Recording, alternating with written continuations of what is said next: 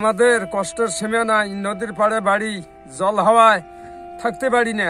কেউ কিছু দিচ্ছে না কম্বল দিচ্ছে না কোনো সাহায্য দিচ্ছে না।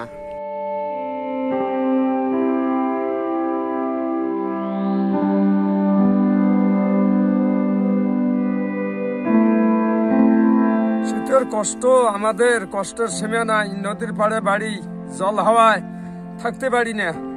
রাতে ঘুম পাড়তে পারি না জাড়ের ঠেলায়। বুঝলেন ঠেলায় ঘুম পাড়তে পারি না, খড়ি খেড়ের খুব তুলটি, খাওয়া দাওয়ার খুব অসুবিধা।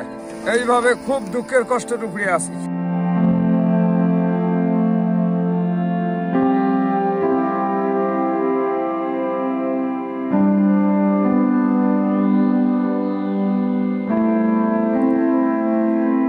কেউ কিছু দিচ্ছে না, কম্বল দিচ্ছে না, কোনো সাহায্য দিচ্ছে না।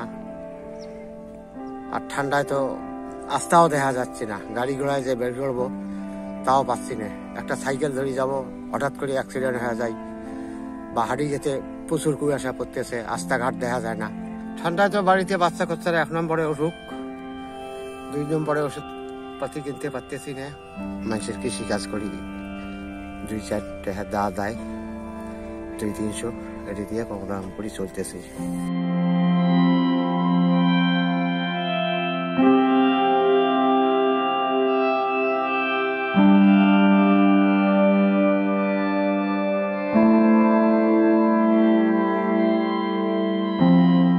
থেকে তিন দিন যাবত গাড়ি নিয়ে বেড়াই।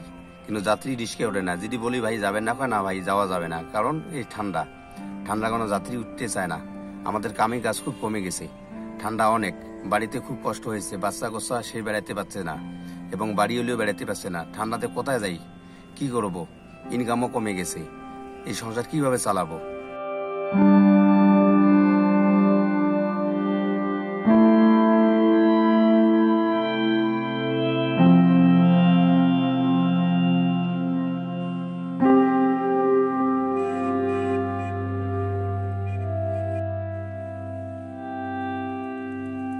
আমাদের এখানে কুয়াশা বেশি বুঝেন কয়েকদিন, দুই দিন থেকেই বুঝেন কোনো মনে করেন যে দেশে, মনে করেন ওই ব্রিজের কুড়িগ্রামের এইদিকে লোক, মনে করেন কোনো কম্বল টম্বল কিছু পায় নাই।